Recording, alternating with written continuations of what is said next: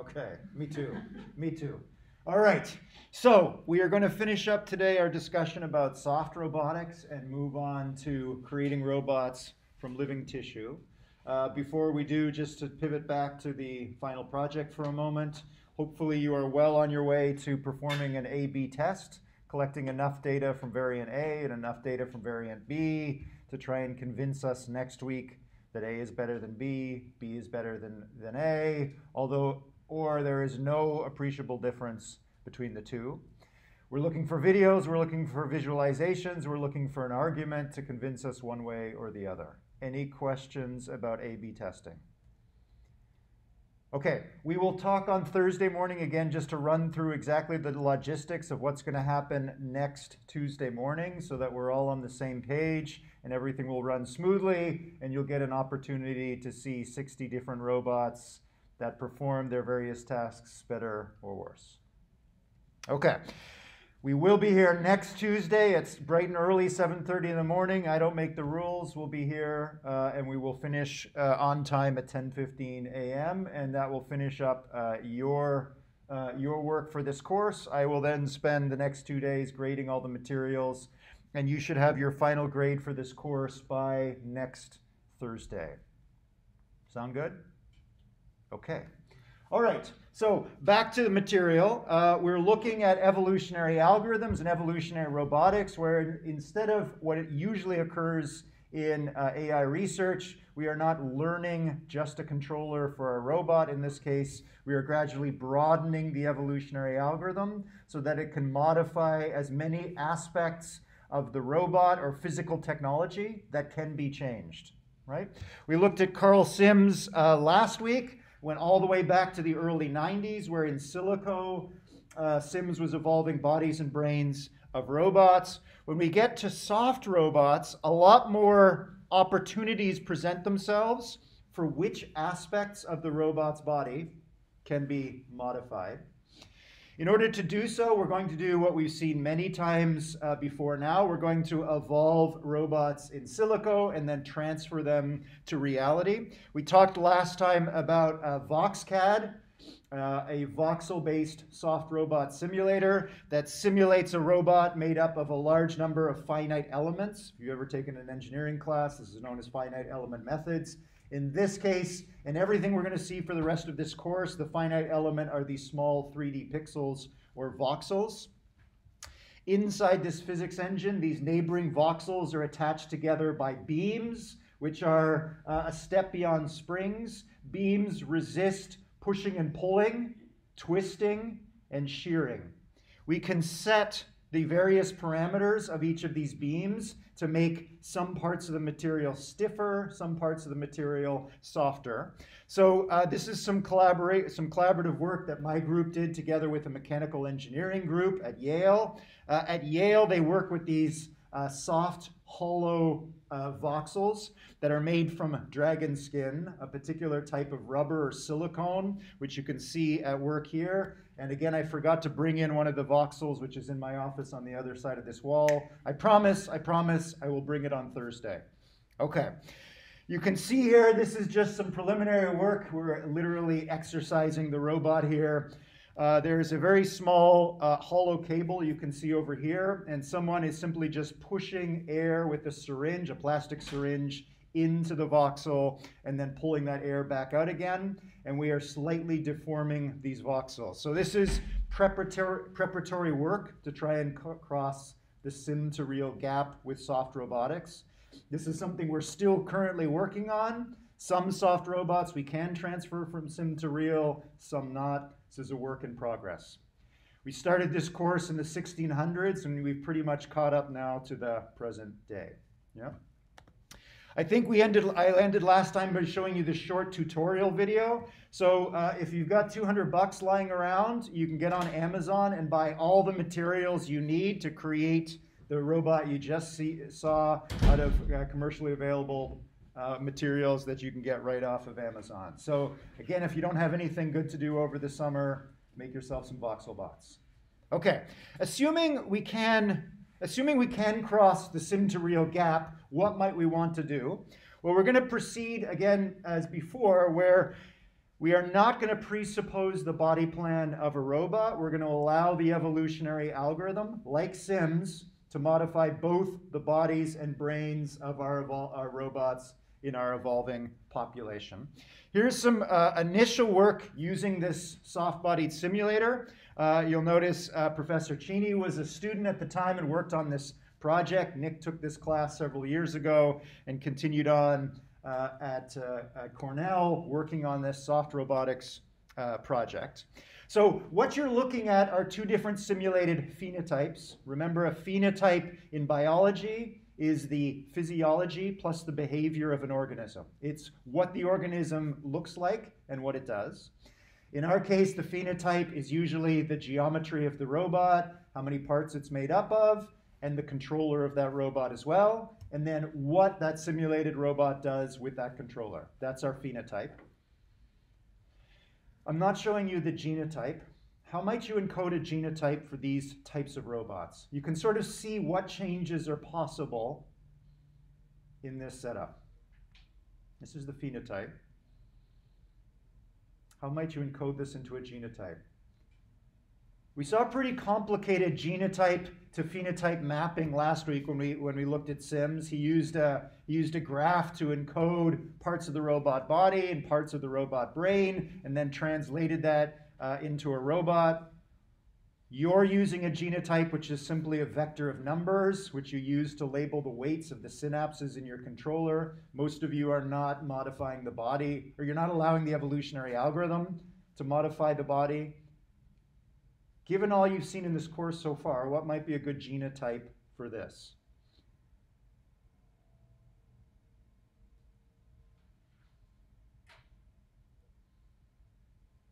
What is it, what is it that the evolutionary algorithm is modifying in this case? Some things are more obvious than others. It's modifying like the string, the spring variables. It's, it's modifying not the spring variables, but the beam parameters, right? So uh, it's a little difficult to see here, but you might be able to notice that the red, the patches of red voxels are a little bit stiffer than the green, uh, than the green voxels. So the color here is representing something about the material properties of these voxels, which is really the material properties of beams that connect neighboring voxels together. Obviously, the evolutionary algorithm is also modifying the geometry, where to place voxels and where not to place voxels. How might you encode this in a genotype?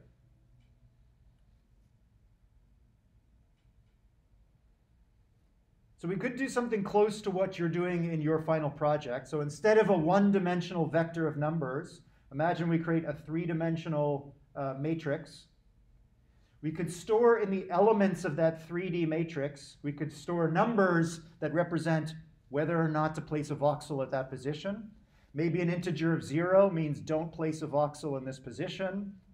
Other non-zero values might represent uh, to place a voxel in that position and to represent material properties of that voxel. Imagine we came up with that genotype. So we've got a 3D matrix of integers that represent whether or not to place a voxel and whether it should be stiff, stiff or soft. If we create a initial population of random 3D, uh, random 3D matrices, what do you think the phenotypes would look like? If we had those random genotypes, randomly generated 3D matrices, what do you think those robots would tend to look like? Be like really disconnected. They'd be really disconnected, right? It would be uh, a cloud of pixel, a cloud of voxels not necessarily connected together. So finding robots that look like this, contiguous or, or continuously connected groups of voxels, those are going to be very rare in the space of all possible genotypes if we define the genotype as a 3D matrix and we're just randomly putting integers into those elements. With enough effort, uh, the evolutionary algorithm might be able to find some of those needles in the haystack, might be able to find some of those robots in the vast set, which are just clouds of voxels. Not very satisfying. Could we do a little bit better?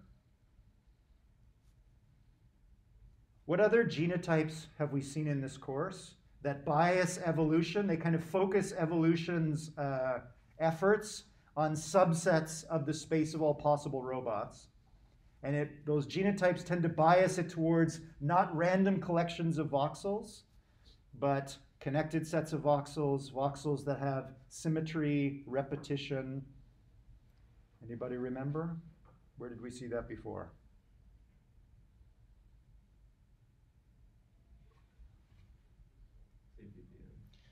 Remember our discussion about uh, uh, CPPNs? Compositional pattern producing networks. We saw this when we talked about NEAT and HyperNEAT.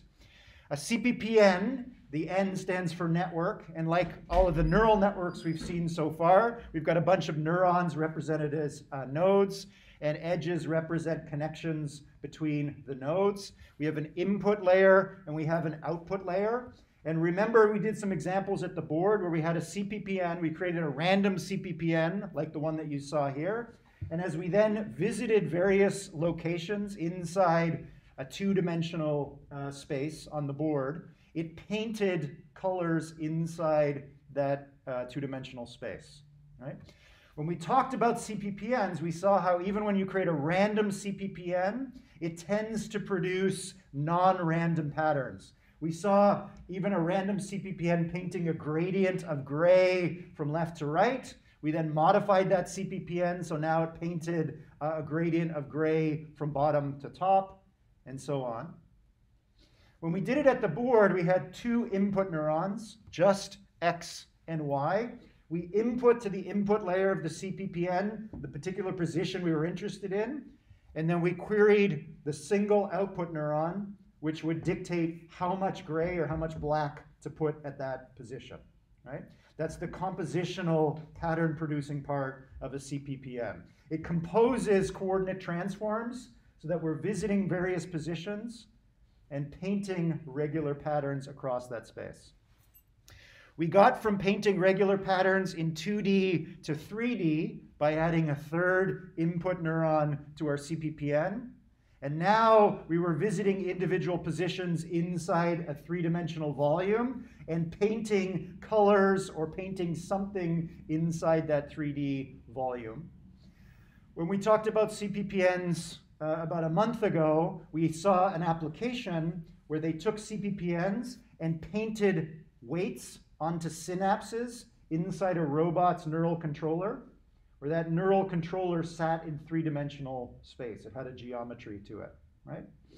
So uh, in this case, Nick and his colleagues adapted CPPNs to paint colors inside a three-dimensional space, like we saw before. So there was one, uh, in this case, there are actually two output neurons. One output neuron, whatever value arrived at that output neuron, for each position in this three-dimensional space, they squashed that value to a binary value. If that value at a particular position was zero, no voxel was placed at that position. If at another position, when they plugged in the coordinates of that position and a 1 arrived at that output neuron, they would place a voxel at that position. So that first output neuron is building the geometry, building the body of the robot. The second output neuron was clamped to an integer between 1, 2, 3, or 4. Remember that we can place different kinds of activation functions inside a neuron so that the raw weighted sum arriving at the neuron, we can push that through different kinds of activation functions, which will send out different kinds of values. In the case of the first output neuron, we're clamping it to a value between 0 and 2. The second output neuron, we're clamping it to an integer 1, 2, 3, or 4, where those two, those four integer values represent the color we're going to paint onto that voxel. Red, green, light blue, and the fourth option is dark blue, which you can't see in this example, but you'll see in a video in a moment. So we have four input neurons and two output neurons. We have X, Y, and Z. The fourth one that's added here, D, this is the distance that that particular position inside this uh, cage is from the center of the cage. They don't strictly need D. We could have just fed in the X, Y, and Z position inside this cage. what do you think adding this fourth input neuron does? Every time we visit a position inside this 3D space to determine whether or not to place a voxel at that position and which color to paint that voxel, what influence do you think it has that we're including D? The distance from the center of the cage.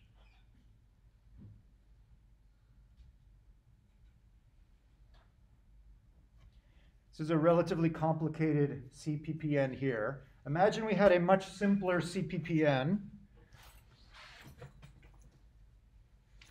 Imagine we had a much simpler CPPN that takes just D as input, and we'll just use the first of the two output neurons here, the presence or not of a voxel. Imagine we set the weight of this individual synapse between this single input neuron and this single output neuron to some value so that if D is above some threshold, we will place a voxel. And if D is below some threshold, we will not place, uh, sorry, if D is below a threshold, we will place a voxel. If D is above some threshold value, we're not going to place a voxel. Let's try and paint not in, two, in 3D, but in 2D. We start at this position here. This is quite far from the center of this two-dimensional space.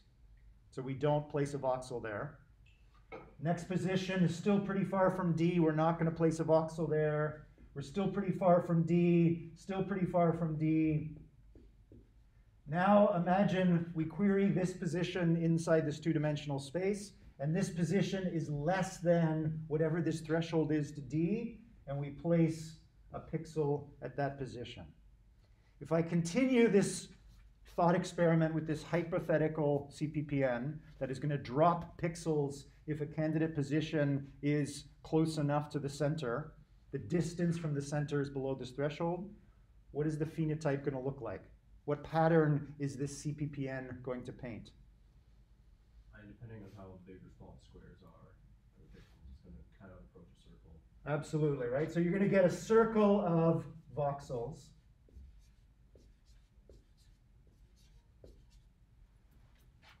Why do you think they included D?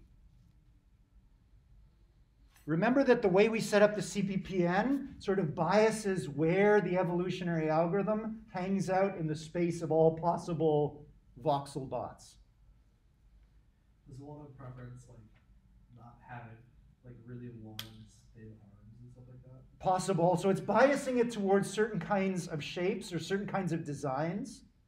Remember, this is what CPPNs do. It biases evolution towards symmetry, repetition. It tends to also bias towards contiguous things, connected pieces, right? We don't have a random cloud of pixels in this example. So we get contiguity, we get repetition, and we get symmetry, including D biases evolution towards a particular kind of symmetry.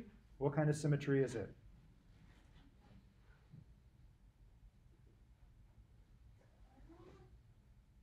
We spent quite a bit of time in this course, especially when we talked about the biomechanics of locomotion spent a lot of time talking about bilateral symmetry, right?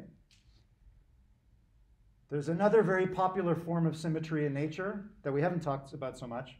Radial. Radial symmetry, right? Maybe that's useful, maybe it's not.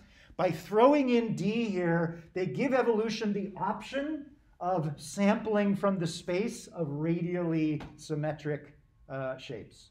Yeah? Okay. Any questions about the genotype here?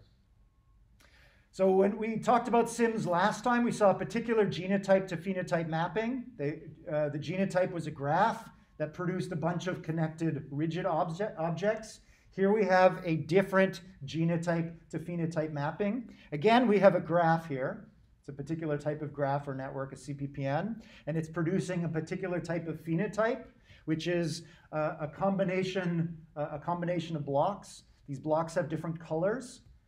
If we now take this phenotype, the shape with these colors, and drop it into the physics engine, we can use the colors to tell the physics engine what material properties those voxels should have. Okay, here is this evolutionary, particular evolutionary algorithm in action.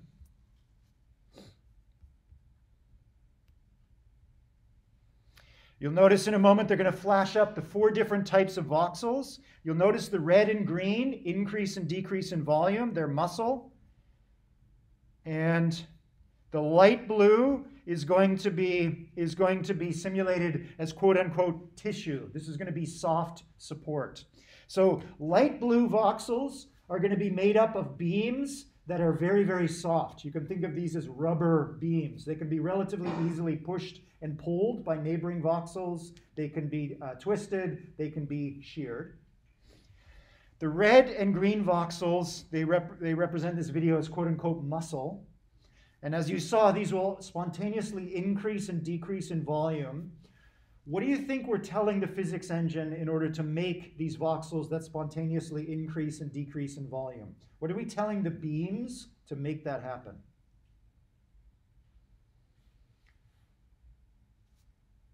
Remember our discussion about springs and beams? Yep. Absolutely, the resting length. So we're going to, or the physics engine is going to dynamically change the resting length of the beam so that it will, the beam itself will elongate or shorten or twist or shear. Doesn't seem to make much physical sense. It's hard to think of a steel beam or rubber beam that is spontaneously increasing or decreasing in length. Imagine that we cut the beam in half and we put a linear motor, a piston, into that beam, which is pulling or pushing on the two halves of the beam. It's a little bit closer if we wanted to actually build these beams in reality. The fourth and final type, the fourth and final type of voxel we're going to look at here is a dark blue voxel, which they refer to as quote unquote bone. This is passive uh, hard support. So these are stiff voxels that resist being pushed or pulled uh, or twisted or sheared by their neighboring voxels. Blue voxels are going to have six steel beams coming out of them, right? They're resisting any deformations. So far, so good? Okay. Last detail have a look at the red and green voxels again. You'll notice both of them are increasing and decreasing in volume, but they're increasing and decreasing in antiphase to one another. We've seen that idea several times in the course now. This is a, a, biological detail that's being incorporated into this experiment. What biological detail is this? We've got groups of muscles where when one group expands, the other contracts, and vice versa.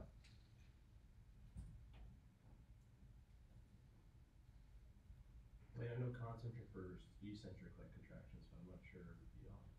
Close. So pair of terms we used for this before. Our bodies are made up of pairs of muscles that relax when one of them pulls and relaxes when the other one pulls. What are these pair of muscle groups called?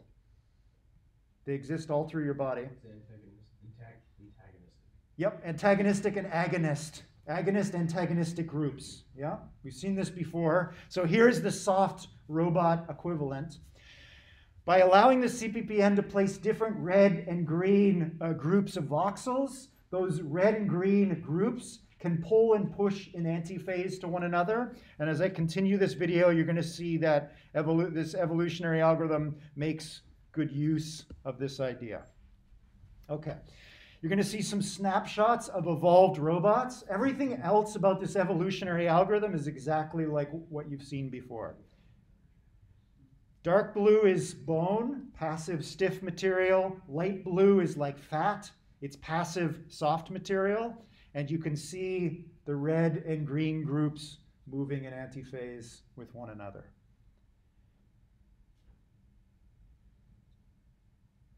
When this was published back in 2013, somebody dubbed these the jello bots. Seems to make sense. So doing collisions are the green and red also treated as kind of soft? Uh, yes, absolutely. When co collisions are detected and resolved in this physics engine, those collisions are also detected and resolved in a soft manner. Yep. Okay, so here's one evolutionary run. Here's a fitness curve, and they're playing back the best robot in the population at that evolutionary time.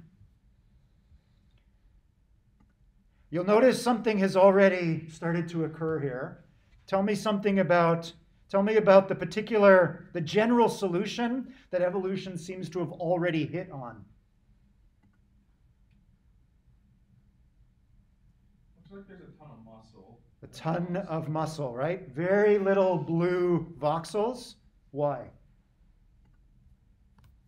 We're not telling it to be energy efficient, we're just telling it to go. Absolutely, right? Remember our discussion about locomotion? It's always a trade off between displacement, how fast you move, energy efficiency, how much energy you use to do so, uh, robustness, how many different environments can you move about in, and the fourth one was stability, right? Do you fall over or not while moving? If we're only selecting for forward locomotion, and evolution in essence can add or remove motors by adding or removing red and green voxels, the obvious solution is to just become a ball of muscle. Yeah? So you can see that evolution in this case has struck a very extreme trade off between displacement and energy efficiency. This is not, these are not very energy efficient robots. It is kind of interesting how they're not just like cube, kind of sort of. So geometry matters, absolutely, right? So a cube is not a good solution here. You get the beginnings of legged locomotion. You can almost start to recognize some gaits, almost some quadrupedal gaits.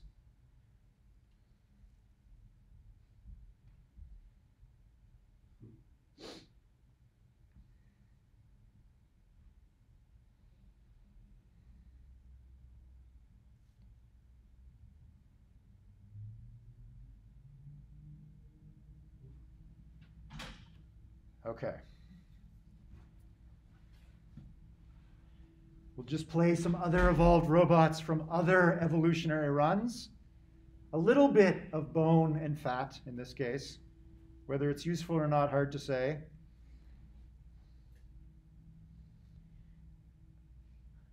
What do you think the chances are of transferring these from sim to real? Do You think these are going to cross the reality gap? Probably not.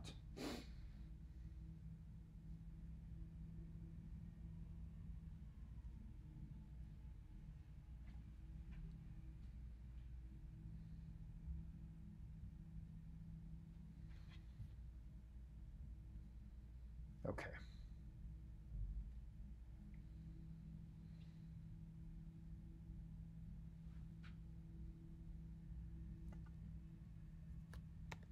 Questions before we move on? I can't tell this one, do all the green ones have the same default size? Uh, the same default size. All of the voxels have exactly the same volume. They all have the same length, width, and height, but their volume changes over time, which is another difference between soft robots and rigid robots. Rigid robots have a constant volume, right? They don't increase and decrease in size. When we're simulating the soft robots, we are assuming that the voxels can increase and decrease in size. How that would be realized in reality is left unspecified in the simulation. Here's an example of how you could create a physical version of some of these robots where the volume is increasing, the volumes of the voxels are increasing and decreasing. Uh, soft robotics is a relatively new branch of the study of robotics in general. Most of the researchers working in the field of soft robotics, some of them are roboticists, some of them are material scientists and chemists. There's a lot of interesting work on creating new kinds of materials that can increase and decrease their volume. They can spontaneously stiffen and soften when they're heated or cooled. There's a lot of interesting work thinking about how to actually create the next generation of robots that can change their geometry, can change their volume, can change their material properties. Yeah? So, how we might go about try, trying, assuming we even could cross the reality gap with some of these, how we would actually go about building them in reality, there's a growing number of options about how we might do so. Any other questions before we move on? Okay. All right, so we can evolve these robots in simulation. Let's go back to the question of why. Why would we want to create soft robots? From an engineering perspective, uh, maybe we want to create robots that can deform their body or ooze into very small apertures, perform inspection tasks, get into areas that would be very difficult for humans to reach. It's a good reason to study soft robotics. there are other reasons, which is we might be able to make them more adaptive and ultimately more intelligent. So, coming back to the scientific side of, of robots, where we're interested in building robots as models of cognition, intelligence as it could be. Remember uh, our discussion about the evil starfish?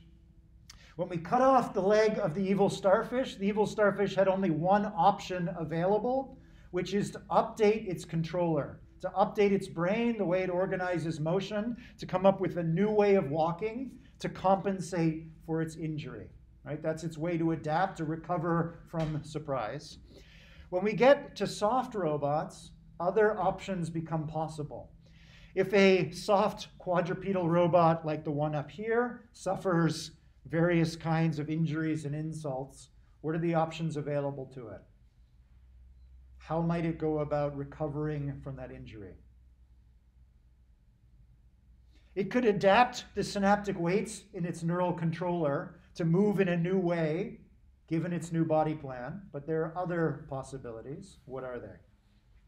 Maybe by like contract, contracting like certain muscles, it might be able to be rebalanced at least like weight wise, which may help. Absolutely, right? So if you are very soft, you can deform your body, not just your controller, in order to recover from surprise.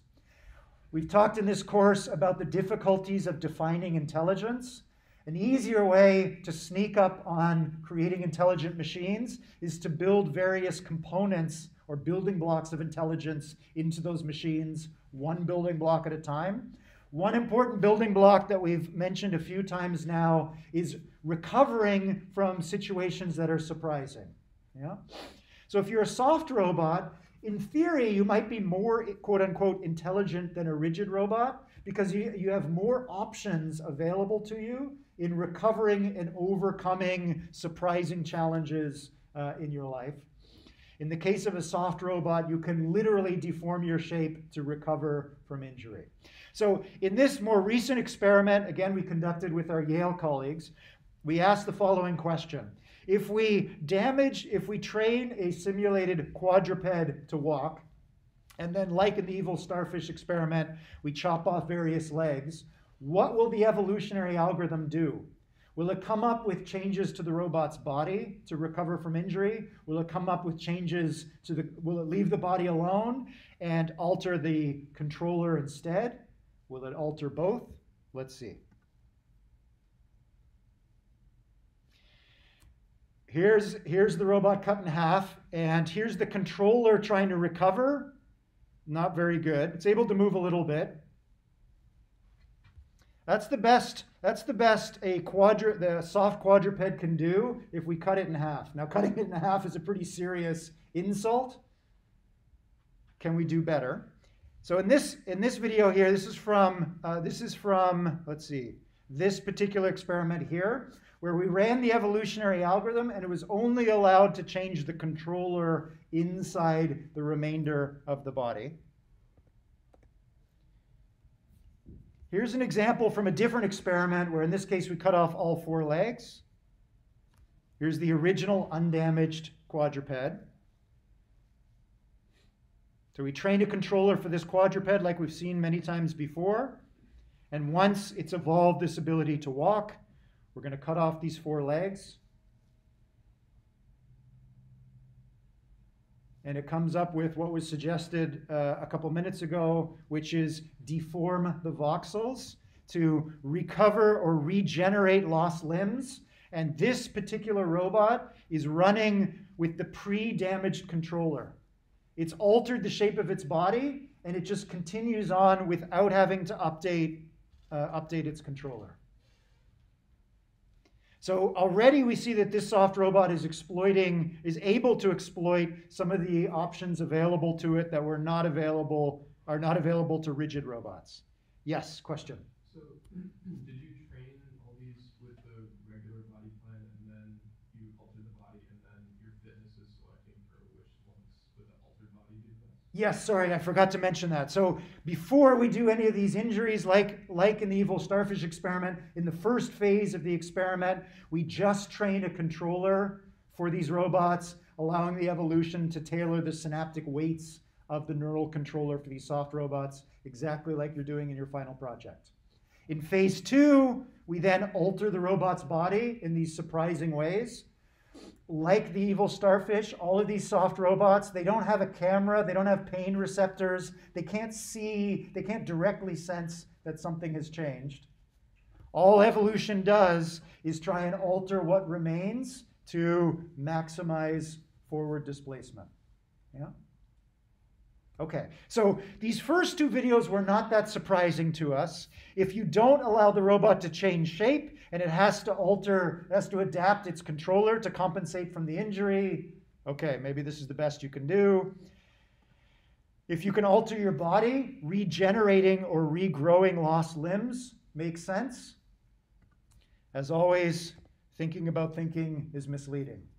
I'm going to show you a second evolutionary run with, I'm sorry, this should, it should actually be this one here.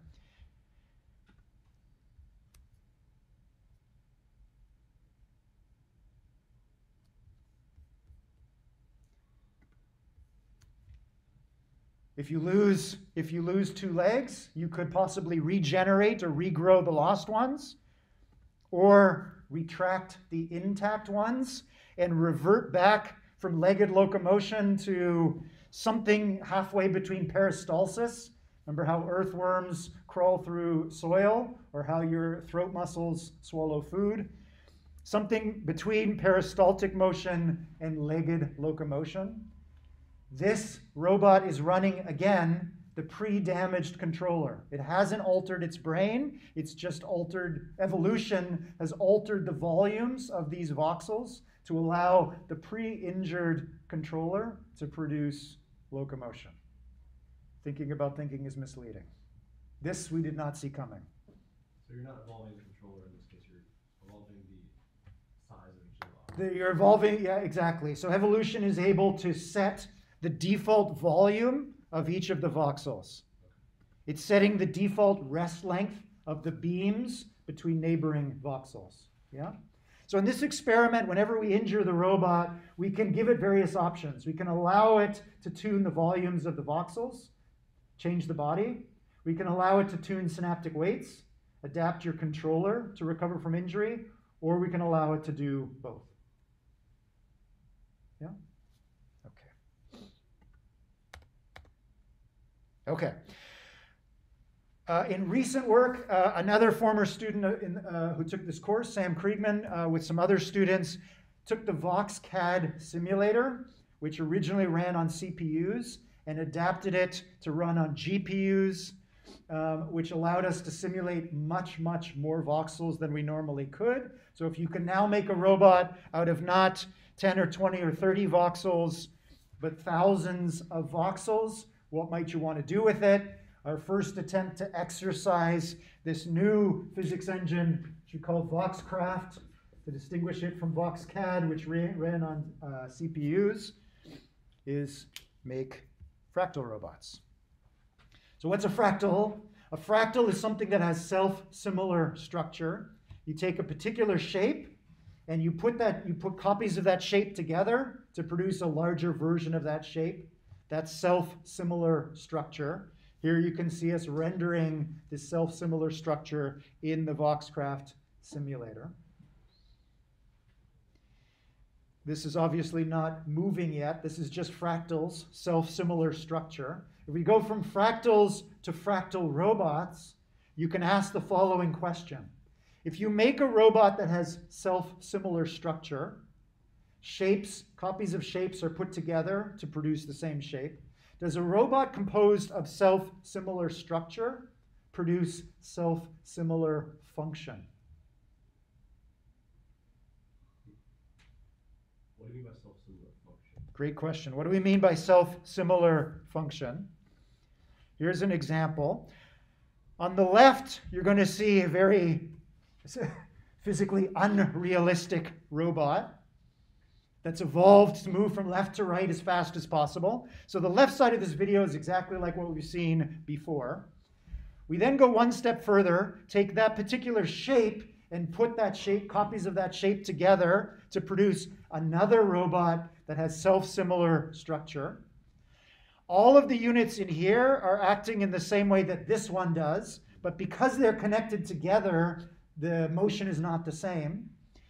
We can then ask, does this robot produce the same function or the same behavior as its components do? That's self-similar function. Is this particular fractal robot exhibiting self-similar function?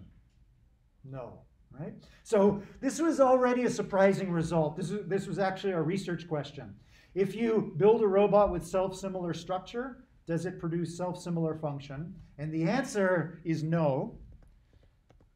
However, if you create an evolutionary algorithm and you create a fitness function that selects for self-similar function, you can get it.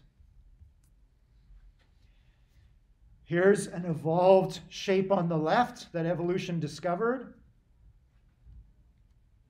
That's a little slow. Let me speed it up a bit.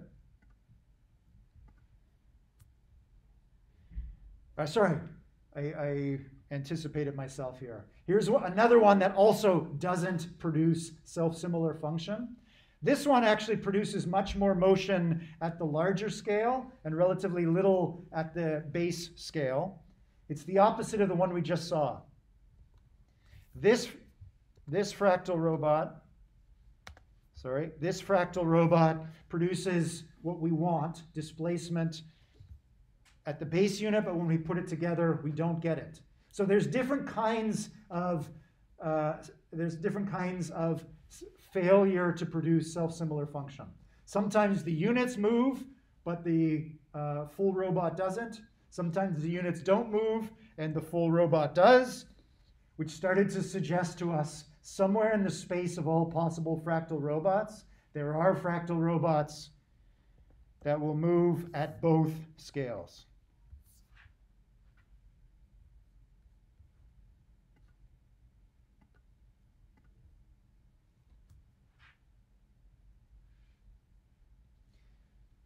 Here's an example of a robot that has self-similar structure, self-similar function.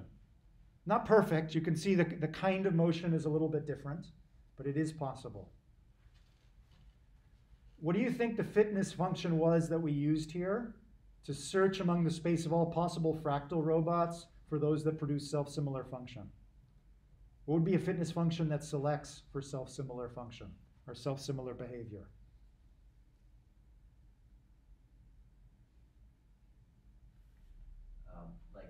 Similar fitness score between the two of them.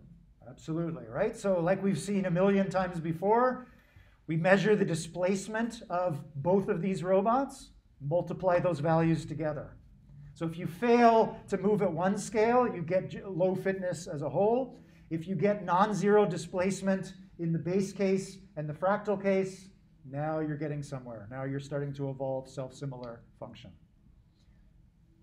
That just says if they are both doing well, not doing the same, that, that they're both doing well. That's true. So they could possibly move in different ways. And if you'll notice, this one isn't quite move, doesn't quite move in the same way at both scales. So self-similar function is not a yes or no, yes or no feature, right? We might be able to come up with a more intelligent fitness function that says don't just produce displacement at both scales, but move in the same way. We could start to add some terms that would penalize for differences between the type of motion at these two different scales. Yeah? Importantly, in this experiment, we were evolving self-similar function, but evolution was not free to play with self-similar structure. Self-similar structure was imposed. Evolution could play with structure. It could make the building blocks, it could make the geometry and the material distribution in the building blocks. But whatever shape it came up with, we force the simulator to put that shape together in a self-similar manner. Yeah? Turns out that you can keep going, at least up to one more size scale.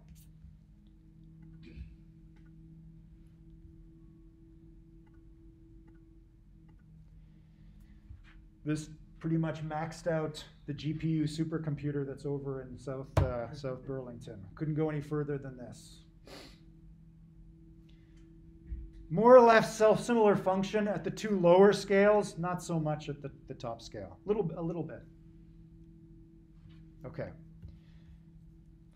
So this was just sort of an exercise for this new GPU version to see what we could do if we simulated robots made of smaller and smaller and more and more finite elements, which in this case were voxels.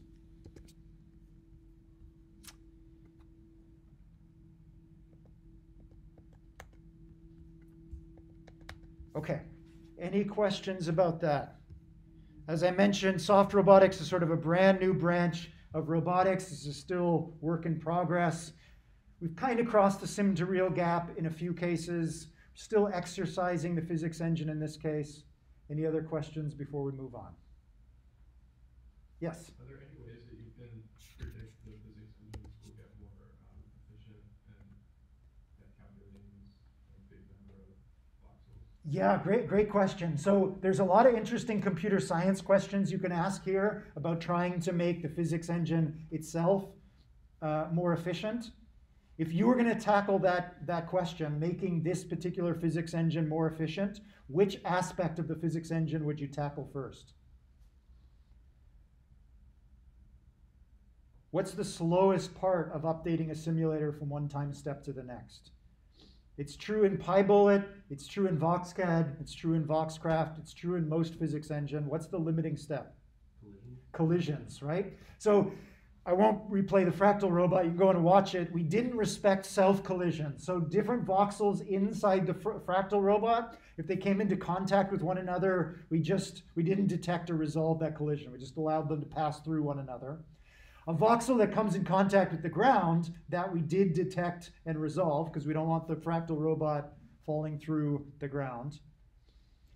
Detecting and resolving collisions among voxels or beams, doesn't really matter which one you do, that are deforming in shape is very, very complicated.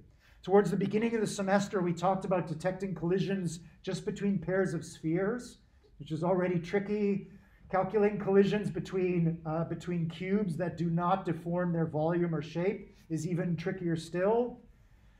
Co- uh, detecting collisions between cubes that deform their shape and volume uh, and material properties, more difficult still. That's the state of the art at, at the moment. If anybody has any clever ideas there, we are definitely all ears. Okay. Okay, so we are going to switch now uh, to our second last uh, lecture here, where we've talked about rigid robots, we've talked about transitioning to the simulation and ver- physical verification of soft robots. In that transition, we switched from working with uh, steel and plastic and hard electronics to soft materials, hollow uh, silicone voxels. Our colleagues at Yale are in the process of making flexible electronics.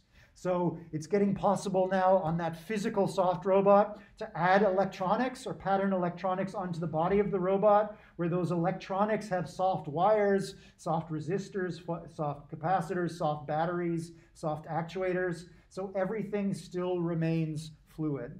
So in this transition, we're spending a, lot more time now as a, as a research field looking at the material properties of the component parts from which the robot is built.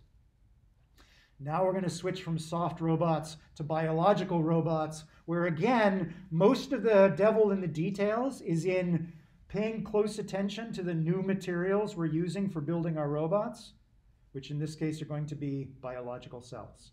Question? Most of the robots we've been looking at, at least with the soft robots, been able to be translated to a somewhat real world. Most of them have not been transferred to the real world. A few of them have been, and I showed you the, the breathing robot there, which is we're kind of close to crossing the gap there. It's possible, but like I mentioned, we're now caught up to the present day. This is ongoing work now to try and figure out what crosses and what doesn't cross the gap and why. What is it about those soft robots that do cross the gap versus those that don't? And when we talk about biological robots today and on Thursday, I want you to keep that same question in the back of your mind. You're going to see some biobots that do cross the gap and some that don't. We are still in the dark. We understand very little about why some do and some don't. Yeah? Okay. permit me to take a few minutes to tell you the origin story of the Xenobots here. Uh, about four years ago now, uh, my research group and an, a group of biologists at Tufts University, we were given a joint uh, funding project uh, by the government to study what's called lifelong learning.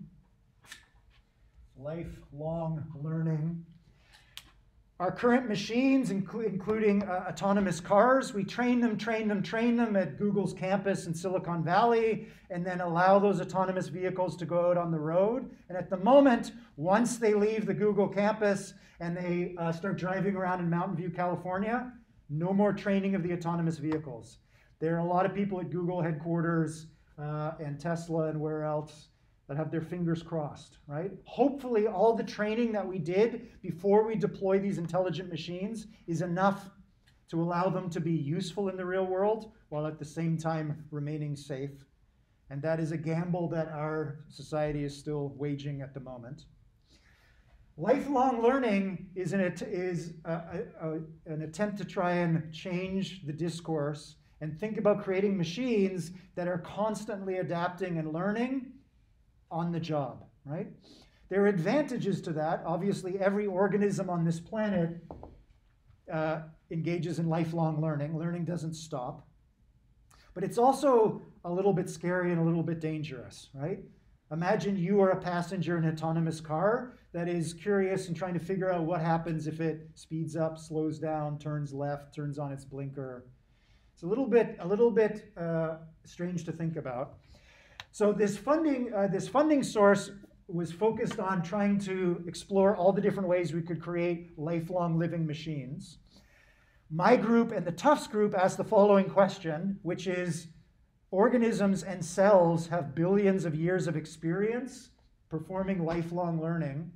So we could observe organisms and try and build that into uh, machines like we do in robotics, or alternatively, just make machines out of living tissue and hope that those biological machines inherit a lot of the useful stuff from nature that we want, which in this particular project was lifelong learning.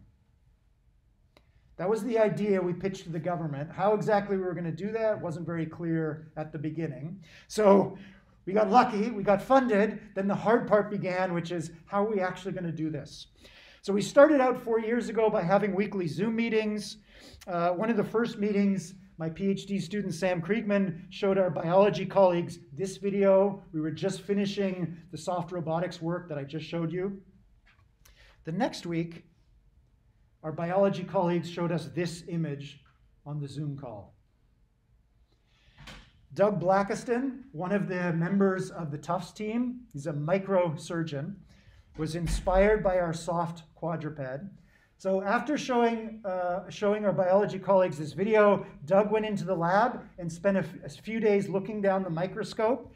He took individual frog cells from a frog embryo, early frog embryo, basically a frog egg, took out some of these cells and very carefully put these cells together to create a sculpture of our simulated soft quadrupedal robot. This is not a robot. This is just a floating mass of frog cells that are floating in room temperature pond water inside a petri dish under a microscope. Questions?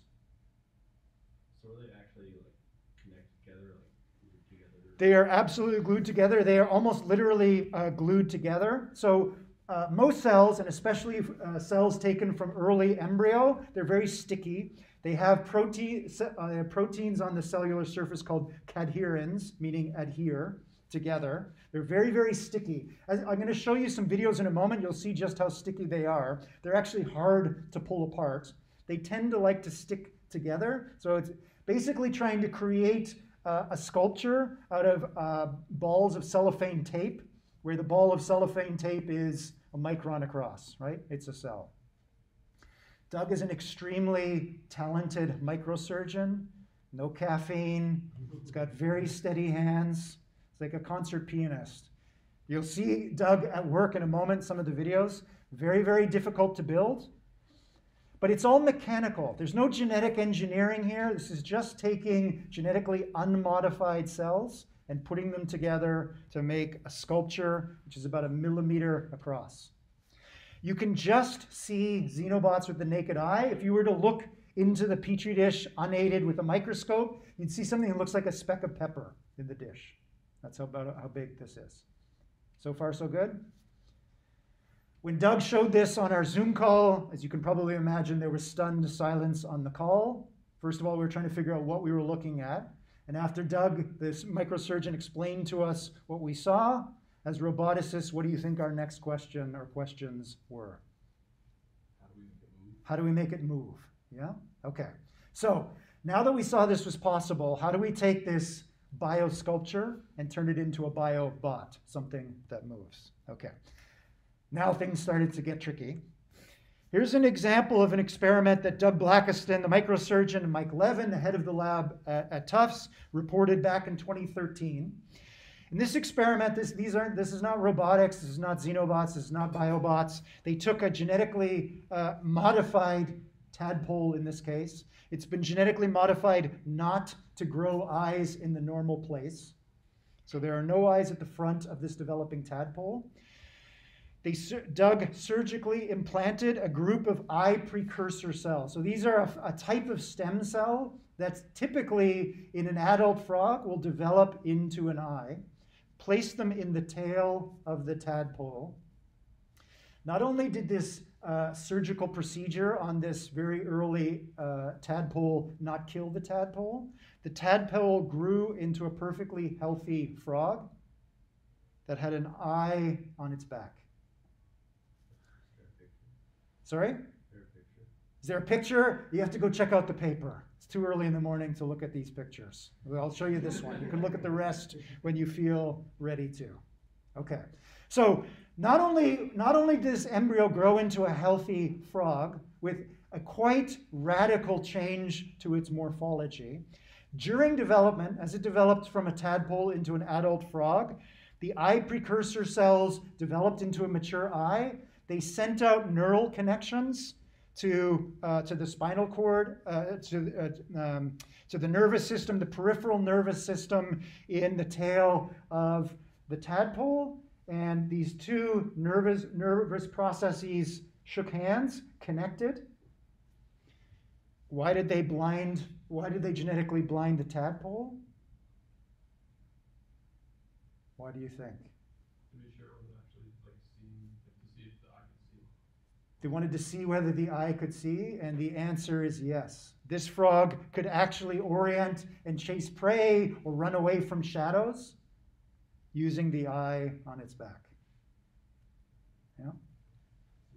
Do frogs usually have depth perception? I'm trying to think how their eyes are positioned. Uh, do they have depth perception? Not, not like us, uh, uh, right? But pretty good, right? They send out their tongue and they can catch a fly in three dimensional space. So they, they have some form of depth perception. They're able to, to anticipate depth relatively well. This one, obviously, not so much. Yeah? Okay. Lots of things that are surprising about this experiment. We haven't even got to biobots yet. What are some of the surprising aspects of this, aside from the fact that it's possible at all? The robustness of the, I guess, the living thing. Uh, Uh, the robustness of a living thing. This is the number one thing I want you to keep in your mind during today's lecture and Thursday's lecture. From the point of view of an organism, which we talked about at the beginning of this course, Heraclitus 2,000 years ago said, Man never enters the same river twice. Humans and most organisms on this planet, we seem relatively able to deal with external changes. Our machines, our current state of the art machines, are terrible at it. It's not that difficult to overwhelm or surprise an autonomous car or even the Roomba vacuum cleaner. Machines are not very good at dealing with external surprise. Why are organisms so good at dealing with external surprise? Because the cells from which we are composed have three and a half billion years experience dealing with internal surprise. Yeah? This is where thinking about thinking gets particularly misleading, right? When we look at organisms, we tend to look at the organism as a whole, right? But remember that an organism is simply a collection of cells, and each individual cell itself is a vastly complicated machine which is very adaptive. The environment for a frog is a pond and sun, uh, day, night, rain, and so on. The, the environment for a cell inside the frog is other cells, right? So if we now take the point of view of a cell, we talked about proximal and distal perspectives of robots. I want you to take the proximal perspective of a cell. I want you to put yourself in the shoes of a cell. It's got various neighbors, and those neighbors are changing constantly over the lifetime of a robot, uh, of, of a frog. Frog is growing, there's more cells, more neighbors. Those cells are migrating through the body uh, of the frog as it develops. Cells on the outside of the frog and of us die off and are replaced by new ones coming from within to replace them. There is constant change, constant churn inside the body of every organism. And the organism itself has to surf on, uh, on that churn. It has to continuously be able to keep itself fed, oxygenated, uh, free from injury, and so on. So, for us, from the distal perspective, this looks frightening, surprising. Doesn't seem like this is possible. From the point of view of the cells inside this tadpole, this is child's play. Okay, there's some eye precursor cells here. I know what that means. Those have to connect to the brain of the, of the embryo somehow, of the tadpole somehow. That's, that's going to send signals to tell these cells to grow into an eye. When that eye grows, it's going to, it's going to deflect light in a certain way. It's going to be captured by neurons. Neurons know to interpret those signals in a particular way. Presumably, the neurons don't really care where on the body those signals from an eye are coming from. Yeah? Thinking about thinking is misleading. Once you start to uh, put, put yourself in the shoes of a cell, it's not so surprising from a cell's perspective what's going on here. So far, so good? Other questions? Okay, we all learned in high school biology that frog DNA encodes frogs, human DNA uh, encodes humans. Seems we were lied to all these years. Whatever the answer is, and the answer is still emerging, it's not as simple as that. Genetics do not specify frog or oak tree or human, they encode something else. Is it kind of like encodes what to do at each step given the current state, but if you change the current state to something unusual? Then they do something else, exactly. Uh, there, are lot, there have been lots of metaphors over the decades about what DNA is. One of the most popular ones is DNA is the blueprint of the organism. Whatever DNA is, it's not a blueprint, right? It's not a static picture saying, make this, make frog, make oak tree, make human. It's more like a recipe. It says, if, or an algorithm. The DNA says, if this happens, do this. If there are cells over here, do that. If the cells happen to be over there, do this, right? This looks like a pretty radical reconfiguration of the tadpole, but this tadpole has already gone through many, many transformations from its origins, which was a single cell. Yeah? Okay. So, given this changing view in biology that DNA is not a blueprint, it's an algorithm, that suggests many things. One of them is if Doug the microsurgeon can rearrange frog tissue like this, what happens if we turn over the task of rearrangement to an evolutionary algorithm? So that was our next question how to turn this frog sculpture into a frog robot. Four years ago, Doug told us that he can manipulate certain kind of cells from early frog embryo. Um, this is the particular frog he works with, uh, Xenopus laevis. Xenopus laevis, Xenobot. That's where the nickname for the Xenobots came from. Uh, he could extract from uh, Xenopus laevis cells skin cells, passive soft tissue. Sounds familiar. He could also extract uh, myocardiac tissue. So these are cells or patches of cells that develop eventually in an adult frog into tissue that spontaneously increases and decreases in its volume. If you take tissue that spontaneously increases and decreases its volume and wrap it around into a hollow shape, you get pump, right? When all those cells contract in their volume, they contract their inner hollow volume. And if that inner hollow volume is filled with blood, it will push the blood out. And when they relax back, the blood will be, or expand their volume, other blood is pulled back into this pump, otherwise known as a heart. Yeah? So Doug told us that he could work with, and therefore our evolutionary algorithm could work with two different building blocks passive soft material and active material that will spontaneously increase and decrease in volume. You can probably see where this is going.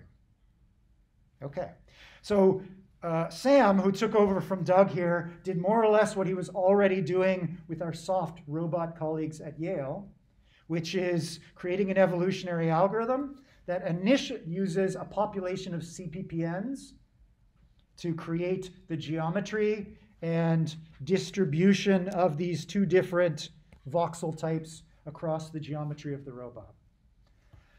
In the, exper- the soft robotics experiment we just saw, there were four different types of voxels bone, tissue, and agonist and antagonistic muscle groups.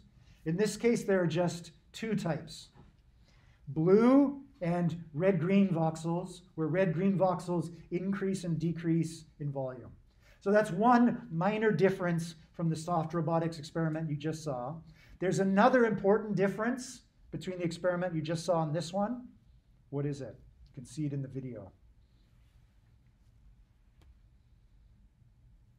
The red-green voxels are acting very different from the red voxels and the green voxels we just saw in the soft robotics experiment. What's the difference?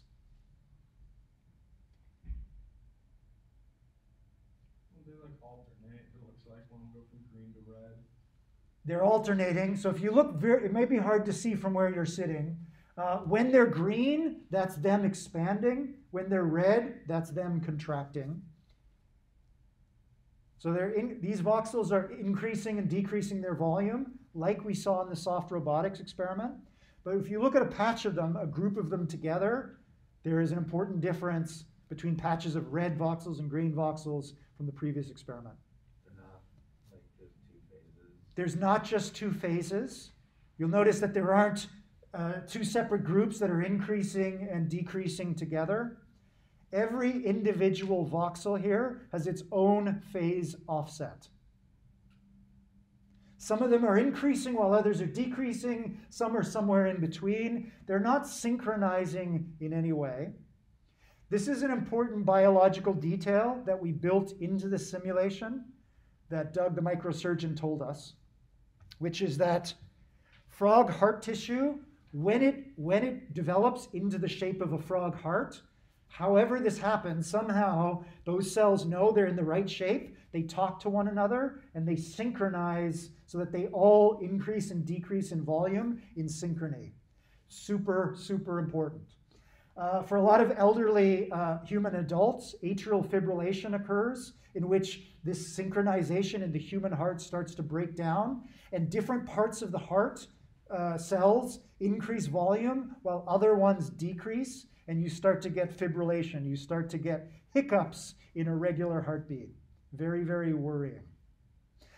Doug told us that with frog heart tissue, we asked, we asked Doug what would happen if we rearrange the, if we rearrange group patches of frog heart muscle cell into shapes other than the heart. His answer was, I don't know because no one's ever done it. So we built into the simulator a conservative estimate. We just said we don't know whether these patches will synchronize, in which they'll all increase and decrease together. So we're going to randomize it. Every time we simulate one of these simulated xenobots, we're going to make all of the heart muscle voxels increase and decrease at random phase offsets. We're sprinkling noise into the simulator in a particular way. Where have we heard that before? We're going to try and cross the sim to real gap in a moment. In order to help try and cross the gap, we're making things deliberately hard on the evolutionary algorithm. It's going to have to try and build a simulated xenobot out of randomly moving parts. Where did we hear about this before? Or this general idea of sprinkling noise?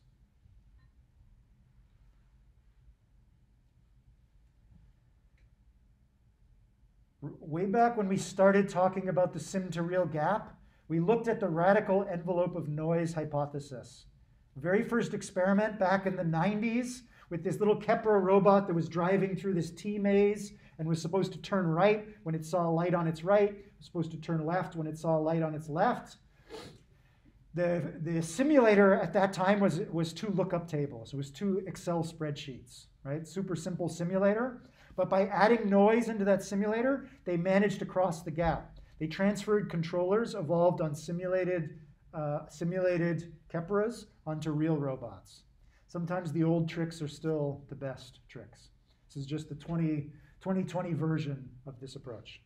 Did you, I, the heart usually has a, I forget what it's actually called, a pacemaker. The pacemaker cells. Yep. Did you guys have like a, a CPG in here? Good, good question. So absolutely. So frog hearts and human hearts have other special cells called pacemaker cells, which set the pace. We also asked Doug if we, if he were to try and build any of these and was try and rearrange or put together patches of frog heart cells, would he, would he, uh, without knowing it, be incorporating uh, pa- uh, pacemaker cells? And his answer was, I don't know. Right. So in the face of uncertainty, we just made a conservative estimate. Assume the worst case. Basically, we're going to force the evolutionary algorithm to assume that if these things are built in reality, the frog heart tissue will not spontaneously synchronize. So far, so good? Okay, so here we go. Here are three random xenobots produced from three random CPPNs. We have a population of 100 of these CPPNs. We evolve these CPPNs to produce forward locomotion, like we've seen many times before. We want to maximize the motion of these simulated xenobots from left to right. And we got these end results from 100 different evolutionary runs. These are the 100 champions, the fastest moving simulated xenobots from 100 different evolutionary trials. What happened?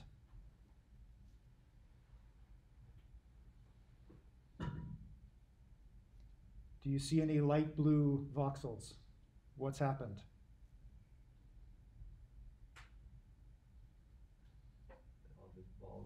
They're all just balls of muscle, like we saw in the previous experiment. Not so surprising. We brought these 100 blueprints to Doug, the microsurgeon, and asked him, could he build these? And the answer was, I can't build any of them. For whatever reason, the microsurgical procedure, which I guess I will show you next time, he wasn't able to do it. He had to, he had to use skin as sort of scaffolding. He could not build under the microscope balls of muscle. So we've already failed to cross the reality gap in 100 out of 100 attempts. We didn't even get to reality in this case. So we failed sim to real, but we're now going to perform real to sim. We asked Doug, why can't you build balls of muscle? What else, what else should we do? He said, well, you need, I need at least about 50% skin cells as sort of the base on which to build the muscle for whatever reason. We took that detail and we put it back into the evolutionary algorithm. Most of these balls of muscle, like you saw in the soft robot experiments, they were also bouncing around. They were pronking like Pepe Le Pew. He said, There's no way a, a xenobot built with frog heart tissue is going to bounce along the bottom of a petri dish. You got to tune down the force of these simulated muscle groups. So we tuned that down. We were doing real to sim. We were taking information about real biology and putting it back into the simulation. And we did these 100 evolutionary runs again, where the muscle now is much weaker. And we also built some uh, terms into the fitness function to reward for using passive material. We got back these 100 blueprints. Question? Wh- What's like the time frame? Like, uh, like when you do, when you get that information from Doug and Yep.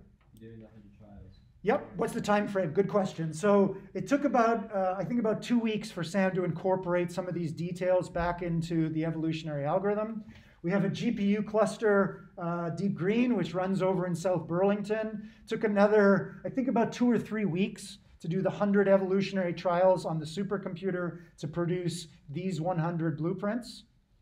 These, the second set. So about two weeks to produce this, We get back one word from Doug, no. Then we ask him why, got some information back, took a few weeks to change the evolutionary algorithm, ran the evolutionary algorithm for another two weeks, and we're out of time for today. I'll tell you what happens next. Thursday morning, you have a quiz due tonight. You're working on your A B testing. Have a good rest of your day.